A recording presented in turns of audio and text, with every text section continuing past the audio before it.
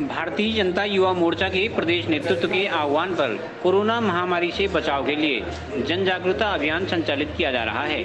अभियान के तहत ज़िले के भारतीय जनता युवा मोर्चा कार्यकर्ताओं ने वॉल पेंटिंग तथा मुख्य तिराहों पर सड़क में जन जागरूकता से संबंधित स्लोगन लिखकर लोगों से मास्क, सैनिटाइजर तथा सोशल डिस्टेंसिंग के नियमों का पालन करने की अपील की गई। भाजयुमो जिलाध्यक्ष मनोज ओली ने बताया कि ग्रामीण क्षेत्रों में भी लोगों को जागरूक करने के लिए कार्यकर्ता अभियान संचालित कर रहे हैं। देखिए, आज जो हमारे उत्तराखंड में जो अपने प्रवासी भाई बहन आ रहे हैं, अपने जनपद के अंदर भी कई प्रवासी भाई बहन माताएँ अपने जनपद के अंदर आई हैं। हम लोगों ने पेंटिंग अपना, अपने जनपद के अंदर ऐसे स्लोगन लिख के जो समाज के प्रति सकारात्मक सोच रखे और जो अपने बाहर से आए हुए भाई, बहन और जो माताएँ हैं, उनको हमने एक स्लोगन अपने जनपद के आठों मंडलों के अंदर हम लोगों ने स्लोगन लिखे हैं, जिसमें हमने आप स्वच्छ रहें, आप सैनिटाइज़र का प्रयोग करें, आप मास्क का प्रयोग करें, इस तरीके के स्लोगन हमने अपने जनपद के प्रत्येक मंडल में लिखे हैं। इसी के तहत अपने प्रदेश के अंदर हमारे आदरणीय प्रदेश अध्यक्ष कुंदन नटवाल जी ने पूरे प्रदेश के अंदर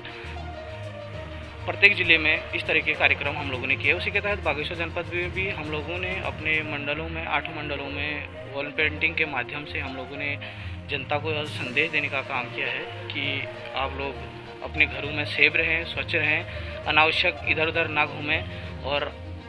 दूरी बनाकर चलें, मास्क का प्रयोग करें। इस तरीके का वॉल पेंटिंग के माध्यम से हम लोगों ने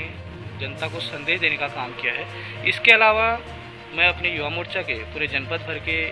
जो अपने युवा साथी मेरे मंडलों में, मेरे मंडलों के अध्यक्ष हैं, महामंत्री हैं और जो युवा साथी हैं, उनसे भी मैं एक आग्रह करूँगा कि जो हमारे प्रवासी बाहर से आए हैं, उनको हम लोगों ने सहयोग करना है।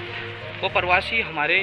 प्रदेश के, हमारे जनपद के भाई हैं, बहन हैं, माताएँ हैं उनके साथ इस तरीके का कई जगहों में देख रहा था, सुन रहा था कि कई जगह दुर्व्यवहार हो रहा तो मैं अपने युवा साथियों से आग्रह करूँगा कि इस तरीके से कोई दुर्व्यवहार उनके साथ ना हो। उनका हम लोगों ने सहयोग करना है।